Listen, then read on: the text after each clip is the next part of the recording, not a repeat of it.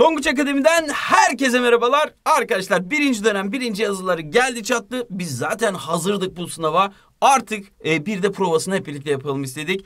E, sorumuz karşımıza çıkma ihtimali yüksek olan soru tiplerini hep birlikte çözeceğiz. Bu soru tipleri üzerinden de yazılıda şovumuzu yapacağız arkadaşlar. Güzel sonuçlar elde edeceğiz. Hiçbir videoyu kaçırmadan güzelce bütün yazılara hazırlanacağız. E, hala daha kanala abone olmayan varsa bir an önce abone olsun ki ders kaçırma ihtimali kalmasın arkadaşlar. Güzelce yazılıya hazırlanmamızı hep birlikte tamamlama fırsatı bulalım. Şimdi 10. sınıf kimya birinci yazılımızda karşımıza hangi tip sorular çıkacak, hangi konulardan sorumlu olacağız? Onlardan şöyle bir bahsedelim.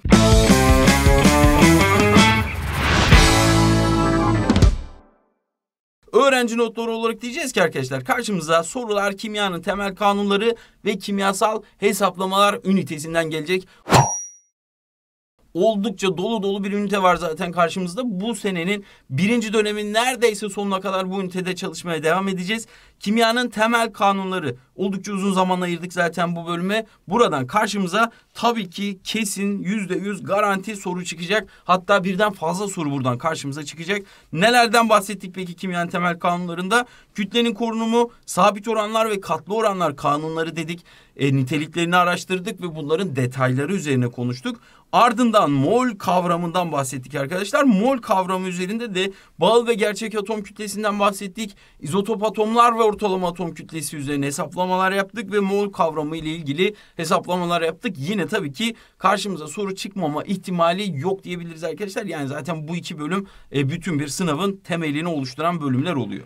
Şimdi geçelim bakalım soru tipi olarak karşımıza neler gelebilir? Kütlenin korunumu kanunu en basit ve ilk konumuzdu. Lavoisier'in gerçek geliştirdiği bir kanundu arkadaşlar. Ne anlatıyordu bize kütlenin korunumu kanunu? Diyordu ki kimyasal veya fiziksel bir tepkimede harcanan maddelerin toplam kütlesi oluşan maddelerin toplam kütlesine eşit olmak zorundadır. Veya daha basit bir tanımıyla bir madde vardan yok edilemez, yoktan da var edilemez. Sadece birbirine dönüştürülebilir. Bu da kütlenin hep sabit kalması gerektiği anlamına geliyor.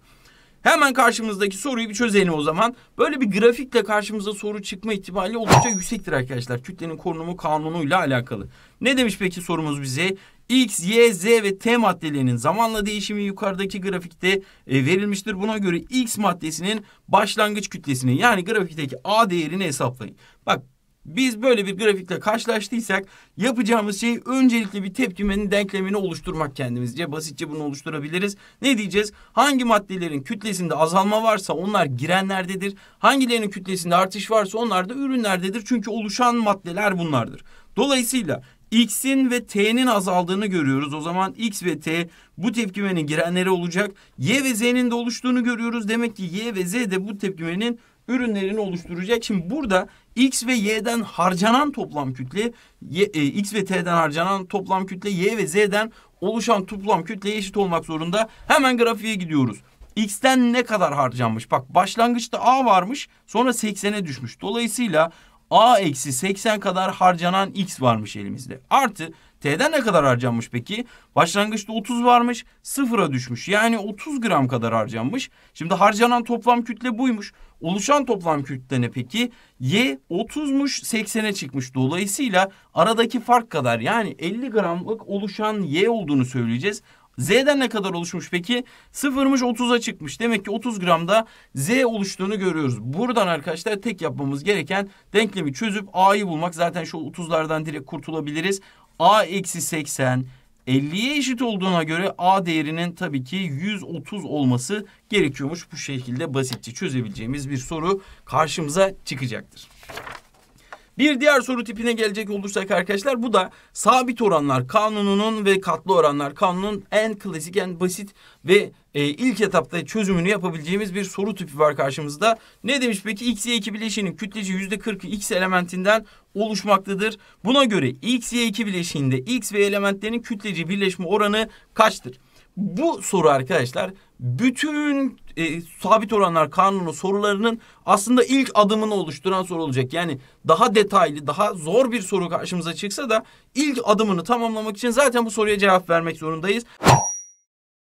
Bak şuna dikkat edeceğiz. Bizde başta verdiği bileşikle soru içerisinde bizden istediği bileşik birbiriyle aynıysa burada sabit oranlar kanunu vardır karşımıza çıkan. O zaman buradaki mx bölü my değerini nasıl hesaplayacağız? Diyeceğiz ki bu bileşikte x'in kütlesinin y'ye olan kütlesinden bahsediyorsak eğer soru demiş ki yüzde kırkı x'tir. Bak x'in kütlesi 40 ise e bu yüzdenin geri kalan 60'ının da tabii ki y olmasını bekleyeceğiz. O zaman bunlar arasındaki oran sadece 40 bölü 60 yani en sade haliyle 2 bölü 3'tür. Bu neyi anlatıyor bize? Demek ki her 2 gram x'e karşılık 3 gram y girmeliymiş ve toplamda 5 gram x, y 2 bileşiği elde etmeliymişiz.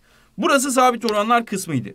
Ama eğer soru bize başta verdiği bileşikten farklı bir bileşiği istiyorsa bu defa da arkadaşlar işin içerisine katlı oranlar girecek. Bak böyle bir durum karşımıza çıktığı zaman şunu yapacağız. Diyeceğiz ki bizim bildiğimiz bileşik XY2. XY2'nin kütleleri arasındaki oranı da biliyorsak X'in atom kütlesinin Y'nin atom kütlesine olan oranını bulabiliriz. Yani ne demek bu? Eğer XY2 bileşiğinden bahsediyorsak burada e, mx bölü my dediğimiz değer yani bu 2 bölü 3 değeri bir önceki soruda bulduğumuz 2 bölü 3 değeri aslında her bir x'in iki tane y'ye olan oranını verecektir bize. Formülden bu geliyor zaten. Bizim buradaki amacımız x'in y'ye olan oranını yani atom kütleleri arasındaki oranı bulmak olmalı. Dolayısıyla hemen bunu şu ikiyi karşıya çarpı olarak atarız ve 4 bölü 3 olarak buluruz. Bak bu sorumuzun ilk adımıydı. İkinci adımında da gidip X2 Y3 bileşiğinden artık bahsetmeye başlayacağız. Burası hala X Y2 bileşiğiydi çünkü. Oradan yola çıkarak oranı bulduk. Bu oranı da burada kullanacağız. Diyeceğiz ki eğer X2 Y3 bileşiğinden bahsediyorsak buradaki X kütlesinin Y kütlesine olan oranı iki tane X'in bu defa üç tane Y'ye olan oranına eşit olmak zorundadır. Dolayısıyla biz X bölü Y'yi biliyorsak burada yerine yazmamız yeterli olacak. Yani 2 çarpı 4 bölü 3 çarpı 3 yazabiliriz. Dolayısıyla da 8 bölü 9 birleşme oranı olduğunu kolaylıkla hesaplayabiliriz. Geçiyoruz bir diğer soru tipimize. Hani az önce yaptığımız çözümün aslında biraz daha afillendirilmiş hali karşımızda olacak. X2'ye 3 bileşiğinin kütlece %20'sini X element oluşturmaktadır diyor. Buna göre 40'ar gram X ve Y elementleri kullanılarak en fazla kaç gram X2, Y3 bileşiği elde edilir? Sabit oranlar kanununun en en en klasik soru tiplerinden birisi ve kesin karşımıza çıkacak sorulardan birisi bu şekilde olacak arkadaşlar. İlla ki böyle bir soruyla karşılaşacağız. Peki nasıl çözeceğiz böyle bir soru karşımıza geldiği zaman? Diyeceğiz ki bizim için önemli olan öncelikle bunlar arasındaki sabit oranı bulmak olacak. Peki nereden karar verdik sabit orana? Bak başta verdiği bileşikle sonradan bizden istediği bileşik birbiriyle tamamen aynı. O zaman bu bileşik için mx bölü my değerini hemen kolayca yazabiliriz. Ne diyeceğiz? Yüzde yirmisini x oluşturuyormuş. O zaman geri kalan yüzde seksenini de y oluşturmak zorundaymış. Dolayısıyla en sade haliyle bunların oranının 1 bölü 4 olduğunu anladık. Bu ne demek oluyor? Bu bileşiği oluşturan X kütlesi ve Y kütlesinin oranı 1'e 4 olacakmış. E o zaman bunların birleşiminden oluşan X2, Y3 bileşiğinin kütlesi de tabii ki 5 olmak zorundaymış. Şimdi bu oranlamayı yakaladıktan sonra diyeceğiz ki ikisinden de 40'ar gram alırsak yani başlangıç değeri olarak bundan da 40 gram bundan da 40 gram alırsak kaç gram x2 y3 elde ederiz? Böyle bir durumda şunu diyeceğiz arkadaşlar. Hangisi biter? Bak bu oranda hangisi yüksekse tabii ki öncelikle onun bitmesini bekleyeceğiz. Çünkü 1'e 4 oranıyla harcanmalarını bekleyeceğiz. Yani şöyle cevaplayalım. Eğer x bitecek olsaydı yani x'ten 40 gram kullanacak olsaydım bunun 4 katı kütlede yani 160 gram y'ye ihtiyacım olacaktı. Ama benim elimde zaten öyle bir kütle yok. Dolayısıyla 40 gram y harcayacağım. Buna karşılık olarak 4'ün 10 katını harcadığıma göre buradan 1'in 10 katını harcamam gerekiyor. Yani 10 gram da X harcamam gerekiyor. E bunlar harcananlar dolayısıyla onlara eşit kütlede yani harcananların daha doğrusu toplamı kütlesinde de X2, Y3'ün oluşmasını bekliyoruz ve aynı hesabı tabii ki bunların 10 katı kadar harcandığına göre 5'in 10 katı kadar da oluşmasını bekliyoruz diyebiliriz. Böyle bir durumda son durumda elimizde ne kalacak? Bak 30 gram X artan madde olarak kalacak. Y tamamen bitecek ve elde edeceğim bileşik kütlesi 50 gram olarak karşıma çıkacak. Cevabım da zaten 50 olacak. Geçiyoruz B şıkkına. Eşit kütlede X ve elementleri kullanılarak 55 gram X, Y bileşiği elde ediliyormuş. Bak bu defa arkadaşlar bizden istediği X, Y bileşiği. X2, Y3'ü vermişti. X, Y bileşiğini istiyor bizden. Dolayısıyla burada artık katlı oranlar kanunu devreye giriyor. Ne yapıyorduk böyle bir durumla karşılaştığımız zaman? Zaten oranını ve formülünü bildiğimiz bileşiği kullanarak yani burada X2, Y3 bileşiğini kullanarak e, X ve Y'nin atom kütleleri arasındaki oranı buluyorduk. Diyorduk ki buradaki mx bölü my değeri şu bileşik için iki tane x'in üç tane y'ye olan oranıdır. E, bu oranın 1 bölü 4 olduğunu hemen bir üstteki soruda bulmuştuk. Buradan o zaman x bölü y oranına gidebiliriz. Yapmamız gereken tek şey ne olacak arkadaşlar? Burada 1 bölü 4 olduğuna göre ve biz e, x2 y3'ten bahsettiğimize göre şu 3'ü buraya 2'yi buraya atacağız. Dolayısıyla 3 bölü 8 olarak buradaki oranı bulacağız. Ardından bahsedeceğimiz bileşik x, y bileşiği olduğu için yani birebir olduğu için buradaki mx bölü my oranı zaten doğrudan bir tane x'in bir tane y oranıdır. Yani 3 bölü 8'e eşittir. Bu defa yukarıda çizdiğimiz şu tabloyu 3 ve 8'e göre çizeceğiz demek ki. Yani x ve y'den 3'e 8 oranında birleştiği zaman biz eğer x, y bileşiğini elde etmek istiyorsak toplamları kütlesinde yani 11 gramlık bileşik elde etmemiz gerekiyor. Bu defa soruyu birazcık tersten sormuş bize sadece. Yani oluşan bileşiğin kütlesini vermiş. Demiş ki şuradan 55 gram oluşuyormuş. Bak 11'in 5 katı kütlesinde elde ettiğime göre 8'in 5 katı kütlesinde yani 40 gram Y'den harcamam gerekiyor. 3'ün 5 katı kütlesinde yani 15 gram da X'ten harcamam gerekiyormuş ki bu durum oluşabilsin karşıma çıkabilsin. Soru bana neyi soruyordu peki? Eşit kütlede X ve Y alacak olursam yani şu başlangıç dediğim değeri buraya yazacak olursam. Ne yapmıştık arkadaşlar yukarıdaki soruda? İkisine de 40 yazmıştık. Demiştik ki bundan 40 gram kullanacağım o bitecek. O zaman burada da ikisinden de 40'ar gram almışım aslında. Y bitmiş. X'ten artan madde olarak 25 gram elimde kalmıştır arkadaşlar. Sorunun cevabı da bu olmalıdır. Yani e, 40'a 15 harcandıysa kütlesi büyük olanın kütlesine eşit sayısında ikisinden de almam gerekecek. Geçiyoruz. Yine arkadaşlar bak bu da e, katlı oranların bu defa en banko, en garanti ve en klasik soru tipidir. İlla ki karşımıza böyle bir grafik çıkacaktır. Mutlaka soracaktır hocamız. Peki nasıl bir soru var karşımızda? X ve Y elementlerinden oluşan iki farklı bileşik için X kütlesinin bileşik kütlesiyle değişimini veren grafiği bize vermiş. Birinci bileşiğin formülünün X, Y, 4 olduğunu söylemiş. İkinci bileşim formülünü de bizden bulmamızı istiyormuş arkadaşlar. Şimdi bu X, Y, 4 bileşiğiymiş. Az önce yaptığımız çözüm hani iki, B şıkkı vardı ya az önceki onun ona aynı yöntemi burada uygulayacağız. Sadece mx bölü my değerini grafik üzerinden okuyacağız. Şimdi eğer x y 4 bileşiğinden bahsediyorsak biz x y 4 diyelim. Şimdi buradaki mx bölü my değeri yani x kütlesinin y kütlesine oranı ne olmalı? x'in 4 tane y'ye olan oranına eşit olmalı tabii ki. Bunu gidelim grafikten okuyup yerine yazalım. Şimdi birinci bileşik için demiş ki bize x kütlesi 3 iken bileşiğin kütlesi 4 oluyor. Yani 3 gram X aldığım zaman 1 gram Y almam gerekiyor ki aralarındaki oran tabii ki e, bu şekilde e, 3'e 4 olabilsin. Yani bileşiğin kütlesi toplam 4 olabilsin. Buradan neyi bulmam gerekiyordu? Önemli olan nokta X'in Y'ye olan oranını bulmam gerekiyordu. Hemen şu 4'ü karşıya çarpı olarak attığımız zaman bu oranı 12 bölü 1 olarak bulacağız. Bak atom kütleleri arasındaki oranı bulduğuma göre artık ikinci bileşikten yorum yapmaya, konuşmaya başlayabilirim.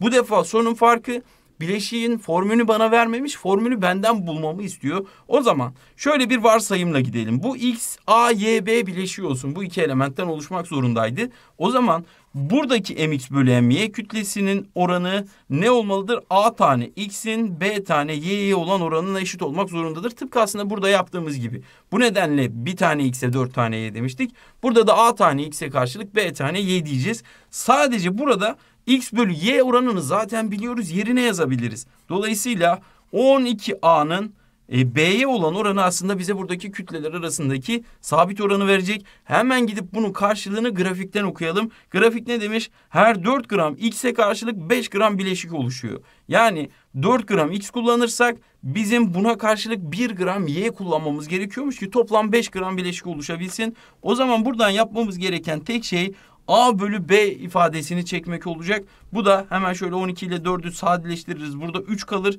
3'ü de karşıya bölü olarak attığımız zaman 1 bölü 3 sonucuna gideriz. Yani şuradaki A ve B değerlerini yerine yazmamız bizim için yeterli olacaktır. X, Y, 3 bizim bileşiğimizin formülüdür arkadaşlar. Oldukça klasik ve karşımıza çıkma ihtimali en yüksek soru tiplerinden birisi bu şekilde olacak. Bir diğer soruya tipine geçecek olursak artık arkadaşlar mol kavramından tabii ki bahsetmeye başladık. Mol kavramı ile ilgili bilmemiz gereken en önemli noktalardan birisi Avogadro sayısıydı 6,02 çarpı 10 üzeri 23 demek. 1 mol madde demekti arkadaşlar. Bu kadar tanecik içeren maddelere biz 1 mol diyorduk. Hemen buradan gidelim bak Avogadro kanunu daha doğrusu mol kavramı ile ilgili bütün soruları neredeyse basit oran oran hesaplarıyla çözebiliyoruz. Öyle kendimizi çok formüle boğmamıza da gerek yok. Hani en eşittir m bölü MA gibi bir formülle mesela birçok soruyu çözme fırsatı buluyoruz ama formül ezberlemek istemiyorum hocam ben diyorsan da basit oran orantı hesapları senin için yeterli olacak. Şimdi gidip diyeceğiz ki 1,204 çarpı 10 üzeri 23 tane Y atomu içeren X3Y2 bileşiği. Burada ne yapacağız arkadaşlar? Hemen bunun önce bir mol karşılığını bulacağız. Diyeceğiz ki 1 mol madde demek Avogadro sayısı kadar yani 6,02 çarpı 10 üzeri 23 tane tanecik içermek demekti. E bizim elimizdeki tanecik 1,204 çarpı 10 üzeri 23 olduğuna göre bu aslında kaç mole denk geliyordur? Hemen bu sorunun cevabını verebiliriz. Bu tabii ki iki katının onda bir olduğuna göre 0.2 mol demek oluyor. Şimdi bilgiyi soru üzerinde bir daha bir okuyalım bakalım. 0.2 mol yani şu ifade aslında 0.2 mol demekmiş. 0.2 mol Y atomu içeriyormuş. Hemen bileşim formülünü gidip karşımıza alıyoruz. Diyoruz ki bunun içerisinde her bir bileşik yapısında her bir formülde iki tane Y olduğunu görüyoruz. Bu ne demek? 1 mol bileşik 2 mol Y atomu içerir demek oluyor. O zaman aslında içerilen mol sayısı Y mol sayısı 0.2 olduğuna göre bileşiğin kendi mol sayısı kaçtır diyebiliriz. Buradan da 10'da 1 olduğuna göre demek ki bileşiğin kendisi 0.1 molmuş cevabına ulaşırız.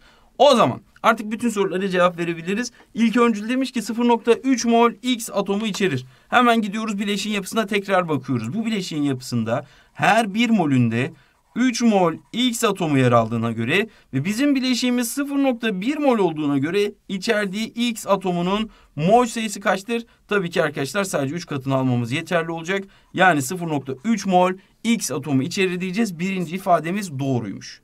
Normal şartlar altında gaz halde ise 2.24 litre hacim kaplar diyor. Normal şartlar altında 1 mol gaz türü ne olursa olsun 22,4 litre hacim kaplıyordu. Oda koşullarında da 24,5 litre hacim kaplıyordu. Ne oldu önemli değil türünün. O zaman diyeceğiz ki eğer 1 mol gaz normal şartlar altında 22,4 litre hacim kaplıyorsa ve bizim bahsettiğimiz gaz 0.1 molse bunun hacmi kaçtır yapacağımız oran orantı hesabı olacak. Yani onda birini almamız gerekiyor. Dolayısıyla 2.24 litre hacim kapladığını söyleriz. İkinci ifademiz de doğruymuş. İçerdiği X kütlesi Y kütlesinden fazladır. Arkadaşlar burada X'in altında 3, Y'nin altında 2 yazması burada kütlesinin de X'in daha fazla olduğu anlamına gelmez. Burada kesinlikle ifadesine boşuna kullanmıyor zaten. Çünkü eğer X'in atom kütlesi Y'nin atom kütlesinden çok küçükse bu Y'nin içerdiği kütlenin daha yüksek olduğunu bize gösterebilir. Yani böyle bir kesinlik tabii ki söz konusu olamaz. Birinci ve ikinci ifadelerimiz doğru olduğu için cevabımız C seçeneğinde yer alacak. Geçelim bir diğer sorumuza. Burada da arkadaşlar izotop atomlar ve ortalama atom kütlesi ile ilgili aslında bir soru var karşımızda. İzotop atom ne demekti? Proton sayısı aynı ama nötron sayısı farklı. Dolayısıyla da kütle numarası birbirinden farklı olan atomlar demek oluyordu. Aynı elemente ait olmalarına rağmen. Karşımızdaki soru demiş ki hidrojen ve deuteryumdan oluşan H2X ve D3Y bileşiklerinin mol kütleleri birbirine eşitmiş. X elementinin atom kütlesi 16 olduğuna göre Y elementinin atom kütlesi kaçtır diye soruyor. Arkadaşlar şimdi diyelim ki biz H2X'in molekül kütlesini hesaplamak istiyoruz. Yapmamız gereken neydi? İki tane hidrojen atom kütlesinin X'in atom kütlesiyle toplamını almaktı. Peki D3Y için aynı şeyi nasıl yazarız? Burada da bu defa 3 tane D atom kütlesinin bir tane Y atom kütlesiyle toplamı bize onun mol kütlesini verecekti. Yani aslında e, birer mollerinin kütlesini verecekti. Dolayısıyla buradaki eşitliği nasıl sağlarız? Yani e, hidrojenin atom kütlesinin 1 olduğunu bize şurada vermiş aslında. Döteryumun atom kütlesinin 2 olduğunu bize şurada vermiş. Dolayısıyla bunları sadece yerine yazmamız yeterli olacak. 2 çarpı 1 artı x'in 3 çarpı 2 artı y'ye eşit olduğunu buradan hesaplamış oluyoruz. Döteryum 2 idi 3 tane varmış. Buna göre arkadaşlar 2 artı x eşittir 6 artı y gibi bir e, sonuca ulaşmış olacağız. Bize başka ne demiş? X'in atom kütlesinin 16 olduğunu. Yani şunun yerine 16 yazabileceğimizi söylemiş. Dolayısıyla aslında 2 artı 16'dan 18 eşittir 6 artı y gibi bir bilgiye ulaşacağız. Buna göre y'nin değeri 6'yı diğer tarafa attığımız zaman 12 olarak karşımıza çıkacak. Geçiyoruz yine mol kavramı ile ilgili bir soru tipine. Ee, burada arkadaşlar mol kavramı ile kütle arasındaki ilişkiyi kurgulamamız gerekecek. Bize demiş ki demir ve oksijen elementinin bağlı atom bağıl atom kütleleri sırasıyla 56 ve 16'dır. Buna göre bir tane Demir 2 oksit bileşiği kaç gramdır? Arkadaşlar buraya da dikkat. Özellikle atomik kütle birimi ve gram arasındaki ilişkiler karşımıza soru olarak e, gelecektir. Şuna dikkat. Bak tane vermiş gram cinsinden soruyor. Başka sorularda da mol cinsinden verip AKB cinsinden sorabilir. Hemen şu bilgiyi hatırlayalım. E, bunlar aslında ikisi de birer kütle birimiydi. Gram demek Avogadro sayısı ile AKB'nin çarpımını veriyordu bizi buradaki e, kütle birimleri arasındaki geçişi bu sayede sağlıyorduk ve tane cinsinden madde miktarının kütle karşılığı AKB iken mol cinsinden e, birimin e, karşılığı kütle karşılığı gram olması gerekiyordu. Şimdi bu bilgileri sorunun içerisinde hemen kullanmamız gerekecek. Bize e, Fe2O3 bileşiğinden bahsettiğine göre hemen bunun bir molekül kütlesini hesaplayarak başlayalım. Demirin 56, oksijenin de 16 olduğunu söylemiş. Dolayısıyla 2 çarpı 56 demirden gelecek. 3 çarpı 16 da oksijenlerden gelecek. Ve toplam olarak 160 olarak bulacağız. Bak bu 160 bilgisi şu demek. Bir tanesi 160 AKB'dir.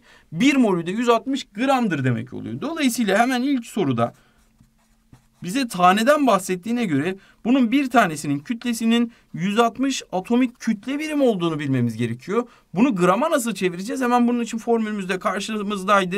E, grama AKB'nin grama çevrilmesi için tabii ki şu NA'nın diğer tarafa bölü olarak geçmesi gerekecek. Yani 160 bölü NA gram gibi bir kütleye eşit olması gerekecek. B şıkkında da demiş ki Avogadro sayısı kadar atom içeren demir 3 oksit bileşiği kaç gramdır? Şimdi Avogadro sayısı kadar demek hemen şu ifadeyi bir mol olarak değerlendirmeye alabiliriz. Ve bileşiğin formülüne geldiğimiz zaman bu bileşikten bir mol aldığımız zaman e, atom içeren dediğine göre toplamda 2 artı 3'ten 5 mol atom içerdiğini görüyoruz. Yani bunun her bir molü 5 mol atom içeriyormuş. E, 1 mol atom içerdiğini söylüyor soru bize. Dolayısıyla bunun 1 mol atom içeriğini kaç moldür deyip bileşiğin mol sayısını ilk olarak bulabiliriz. Tabii ki 5'te 1 olduğuna göre 0.2 mol olduğunu kolaylıkla hesaplarız. Yani artık soru şuna dönüştü. 0.2 mol demir 3 oksit bileşiği kaç gramdıra dönüştü. O zaman şurada bildiğim ve bulduğum bilgiyi kullanabiliriz. Bu bileşiğin bir tanesi hani 160 AKB idi. O zaman bir molü de 160 gram kütlesine sahip olmalıymış. Bizim elimizdeki mol sayısı 0.2 olduğuna göre kaç gramdır der. Yine basitçe oran orantımı kurarım. O zaman 0.2 çarpı 160'dan bunun 32 gram olduğunu ulaşırım arkadaşlar. Kolaylıkla hesaplayabilirim. Geçiyorum bir diğer soru tipine.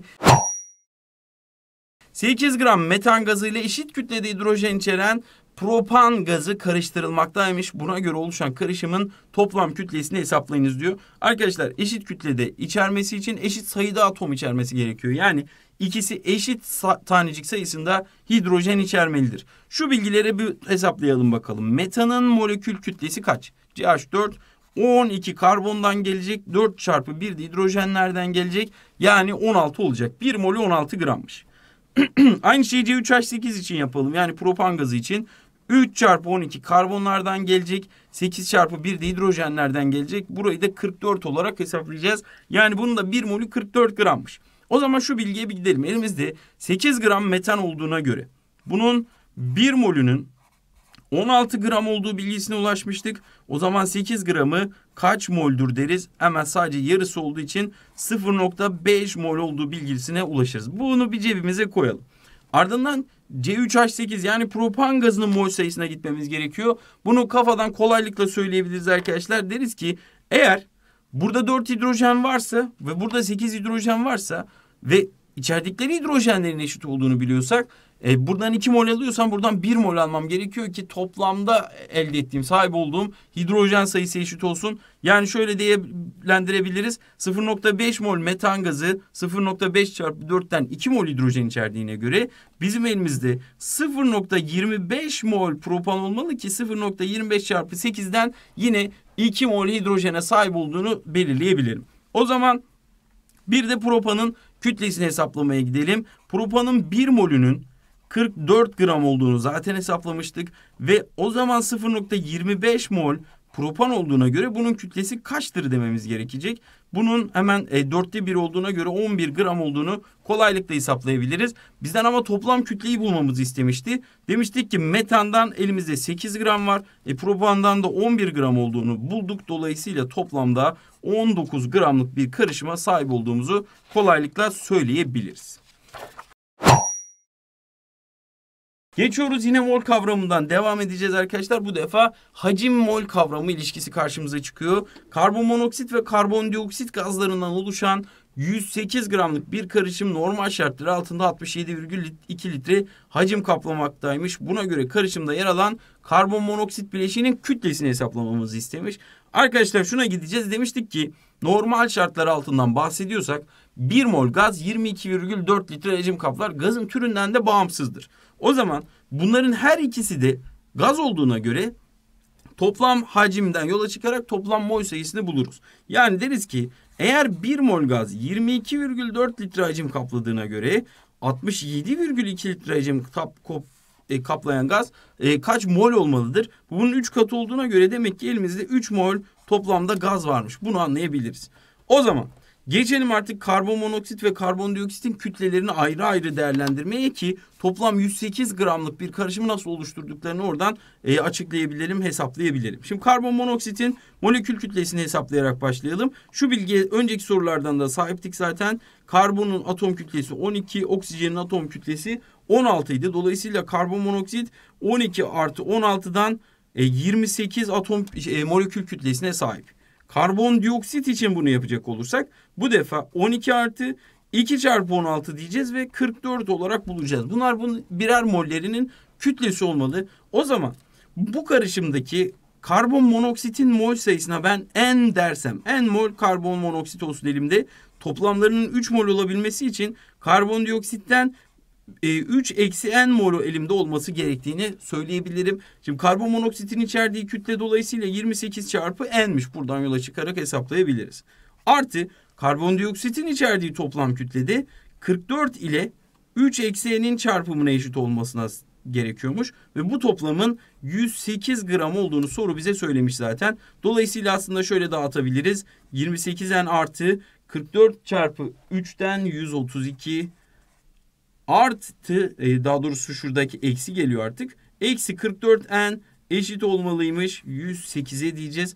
E, buradan devam edecek olursak arkadaşlar n sayısını yani şöyle bulacağız. 132 eksi 16n'in 108'e eşit olması gerektiğini bulacağız. Ve dolayısıyla da n bir buçuk olarak karşımıza çıkacak. Yani demek ki toplam bu 3 molün bir buçuk molü karbon monoksit geri kalan bir buçuk molü de karbondioksitmiş. Bizden neyi bulmamızı istiyor? Karbon monoksitin kütlesini bulmamızı istiyor. Dolayısıyla diyeceğiz ki eğer 1,5 mol karbon monoksit varsa elimizde ve bunun 1 molü de 28 gramsa 1 mole 28 düşüyorsa e, 1,5'a kaç düşer diye sorarız ve buradan e, cevabımızı 42 gram olarak hesaplarız. Cevabımız da 42 olur. Demek ki geri kalan kütle de bu 108 gram oluşturan geri kalan kütle de karbondioksit bileşiğine aitmiş. Hemen geçiyoruz bir diğer soru tipimize. Yine molden devam ediyoruz tabii ki. 22 gram C3H8 yani propan gazı ile ilgili aşağıdaki soruları cevaplayınız diye sormuş. Kaç mol hidrojen içerir? 1 atmosfer basınç ve 0 santigrat derecede hacmi kaç mililitredir? Arkadaşlar bak birimlere çok dikkat etmemiz gerektiğini bize gösteren bir soru var karşımızda. Kaç AKB karbon içerir yine e, birimler burada çok önemli olacak bizim için. Şimdi şuna gidelim. Kütlesini biliyoruz, formülünü biliyoruz. Demek ki buradan mol sayısını çıkarabiliriz. C3H8'in mol kütlesi nedir? 3 çarpı 12 artı 8 çarpı 1'den 44'tür. Yani 1 molü 44 grammış. Bizim elimizde 22 gram varmış ama. O zaman 1 molü 44 gram olduğuna göre bunun 22 gramı kaç moldür dediğimiz anda e, C3H8'in mol sayısını bulmuş olacağız. Yarısı olduğuna göre demek ki 0.5 mol e, C3H8 bileşiğinden bahsediyormuşuz. Kaç mol hidrojen içerir sorusuna nasıl cevap vereceğiz? Bunun 1 molü bakıyoruz e, hidrojenden 8 tane var yapıda. 8 mol hidrojen içerdiğine göre 0.5 molü kaç mol hidrojen içerir dememiz yeterli olacak. Yani sadece yarısını alacağız demek ki elimizde 4 mol hidrojen varmış. Bu ilk sorumuzun cevabı olacak. Bir atmosfer basınç ve 0 santigrat derece. Burası zaten aslında e, normal şartlar altında demektir arkadaşlar. Ve burayla ilgili şunu biliyoruz. Normal şartlar altında 1 mol gaz 22,4 litre hacim kaplıyor. Ama bizim elimizdeki gazın mol sayısı 0.5 moldü. Bunu şuradan hesapladık. Dolayısıyla bunun hacmi kaçtır diyelim ve e, önce bir litre cinsinden karşılığını bulalım. Yarısı olması gerektiğine göre 11,2 litre olduğunu bulduk. Ama soru bizden mililitre cinsinden karşılık istiyordu. Dolayısıyla bunun bin katı olmalı. Yani 11.200 mililitre hacminde olduğunu kolaylıkla hesaplayabiliriz. Üçüncü öncülümüz de kaç atomik kütle birimi karbon içerir diye sormuş. Şunu yapacağız arkadaşlar. Şimdi bunun 1 molünde 3 mol karbon var. Demek ki 0.5 molünde 1,5 mol karbon olmalıdır. E 1 mol karbonun 12 gram olduğunu bildiğimize göre 1,5 mol karbon kaç kütleye sahiptir, kaç gram kütlesine sahiptir dediğimiz anda e, içerdiği karbonun gram cinsinden bu defa kütlesini bulacağız. Çünkü mol cinsinden değer biliyoruz biz. Dolayısıyla e, buradaki kütlenin 18 gram olduğunu kolaylıkla hesaplayabiliriz. Ama bizden AKB cinsinden kü kütle istediğine göre gramın AKB'ye çevrilmesi Avogadro sayısıyla çarpılması sayesinde gerçekleşiyordu. O zaman 18 NaAKB burada içerdiği karbonun kütlesidir diyebiliriz. Kolaylıkla sorumuzu cevaplarız. Arkadaşlar karşımıza çıkacak envai çeşit soru tipi var tabii ki. Bunlardan mümkün olduğunca karmaşık bir şekilde çözmeye çalıştık. Ee, daha fazla soru tipine yer vermeye çalıştık. E, burada tabii ki size yine iş düşüyor. Daha fazla iş size düşüyor hatta. Ne yapacağız? E, gidip biz daha da fazla soru çözeceğiz. E, eksiğimiz var mıymış? Çözemediğimiz soru tipleri var mıymış? Şöyle bir gözden geçireceğiz. Bunun için de temel kaynağımız tabii ki Dinamo Kimya kitabı olacak. Neredeyse hepiniz bu kitaba artık sahipsiniz bunu biliyorum. Eğer hala daha kitabı edinmemişler varsa bir an önce alsınlar ki hızlıca yol kat etmeye devam edebilelim. Peki hangi içerikten, hangi sayfalardan sorumlu olacağız? E, dedik ki kimyanın temel kanunlarını ve mol kavramı konularını tamamladık. Yani sayfa 11'den 35'e kadar bu kaynakta çözmediğimiz yer bırakmayalım. Nelerle karşılaşacağız peki? Ne tür sorular var karşımıza çıkacak? Arkadaşlar bu kitapta her sayfada bir tane çözümlü örneğimiz var. Buradaki çözümlü örnekte bize öğrettiği bilgiyi dört tane soruyla altta bize soruyor olacak. Her sayfada bu şekilde devam edecek. Yani aslında geçtiğimiz her sayfa bir farklı soru tipini çözmeyi öğrenmemizi sağlayacak. Bu da tabii ki sınavda bize büyük avantaj sağlayacak. Bölümler tamamlandıktan sonra karşımıza şöyle tarama testleri çıkacak. Bölümün geneline bakış atmamızı sağlayacak. Ardından tabii ki e, diğer bölümlerle birlikte ünite sonuna kadar bizi götürecek. Ünitelerin sonuna geldiğimiz zaman kaynağımızda arkadaşlar e, tabii ki ünitenin geneline bakış atmamızı sağlayacak ünite testleri karşımıza çıkacak. Ardından ÖSYM tarzında soruların bulunduğu testler karşımıza çıkacak. E, ünite tekrar testlerini tamamladıktan sonra burayı da bitirdikten sonra yazılı tipinde sorular bizi e, çözmemiz için bekliyor olacak. Bu da tabii ki yazılıya daha iyi hazırlanmamızı sağlayacak. Diyelim ki hocam otobüste giderken kısa zamanda şöyle e, sınav konularını, yazılı konularına hızlıca bir göz atmam mümkün mü? Bunun için de tabii ki yazılı notları kaynağı karşımıza çıkacak. Bu da bizim için çok büyük fırsat sağlayacak. E, ve bütün dersleri içeren yazılı notları karşımıza çıkacak. E, burada en önemli, en can alıcı bilgilerle e, çat diye karşılaşmamızı sağlayacak. Mesela 137. sayfadan itibaren kimyanın başladığını görüyoruz. Neler varmış şöyle içeriğimize bir bakalım. E, konularımıza e, doğrudan en temel noktalarıyla, en önemli bilgileriyle bakış atmamızı sağlayan ve ünlem işaretleriyle e, bilmemiz gereken önemli noktaları vurgulayan bir kaynak karşımızda olacak. Her dersten, her sınava hazırlanmadan önce şöyle bir göz atmamız bize önemli faydalar sağlayacaktır arkadaşlar. Şiddetle tavsiye ettiğimiz bir kaynak olacak kendisi. O zaman ne yapıyoruz? Tabii ki ödüllü sorumuzu cevaplandırıyoruz. Yorumlarda paylaşmayı asla ihmal etmiyoruz. Videoyu mümkünse beğeniyoruz ve e, tabii ki kanala abone değilsek bir an önce abone oluyoruz ki hiçbir dersi kaçırmadan yolumuza devam edelim. Güzelce sonuçlarımızı alalım. E, tekrar görüşmek üzere.